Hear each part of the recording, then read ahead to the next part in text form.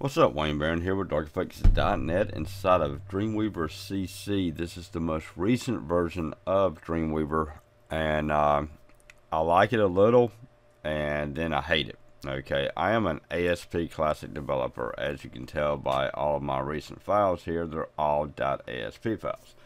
Well, it seems that Dreamweaver has dropped a lot of its support for ASP as well as ASPX, which is uh, ASP.NET so there uh, okay for an example let's go on to a new one.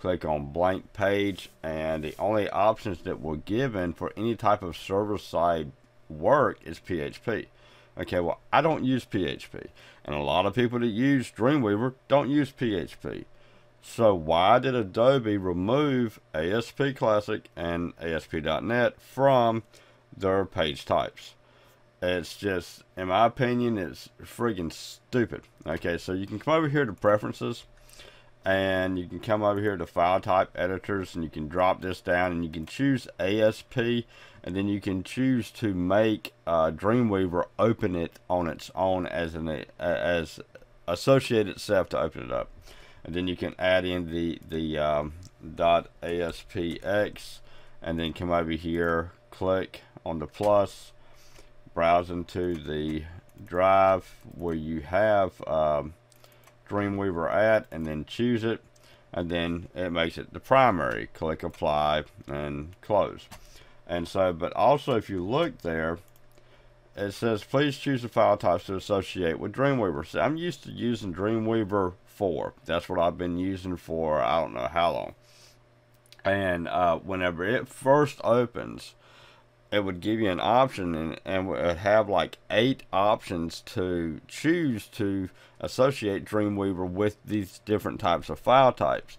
However, you're only given four options, PHP being one of them. I mean, it's bad enough there are, that hosting providers want to shove PHP down our throats, but now we've got Adobe, which I've got to say, man, I love Adobe products. I've been using Adobe products for many years now and to have them just flat right out just say you know something screw the windows server type people. We're not going to work with them anymore. Is is flat right out bull. And so but anyway uh, let's get back over here.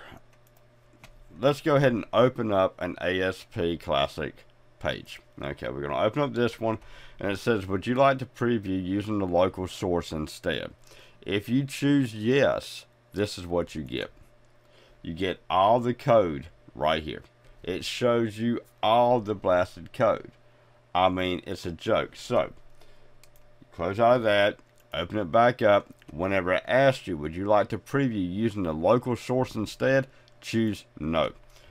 That right there will allow you to work in your ASP Classic and most likely your ASP.NET projects without seeing the source code bleeding through the window here. So, I mean, I got their attention on the Adobe Lightroom issue with the installer. Maybe I can get their attention on this one. Bring back your support for ASP and ASP.NET. Make it so that people like myself are happy continuing to use your products because this right here, this annoyance, this aggravation that I'm having to put up with is going to make me dump the Creative Cloud Dreamweaver part of it and just go back to using Dreamweaver uh, CS4, which is what I've been using since CS4 came out. It's my favorite one. I mean, I don't like using Dreamweaver to code my pages. I hand code everything the main reason why I downloaded this is to help me work on mobile apps. That's the only reason. But I understand that CS6 also has the mobile app in it. So I might end up going and jumping onto the CS6 and working with it.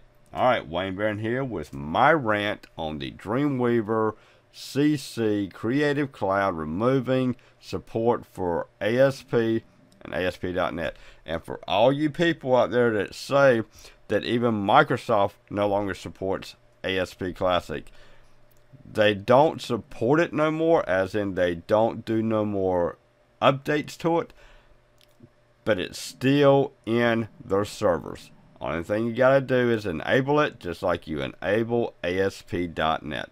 So it's always going to be with the Microsoft Windows servers. It's just up to you to enable it. So Adobe, do your customers a big favor for all of the Windows users out there. Bring back the support for ASP Classic and ASP.NET. Alright, bye bye.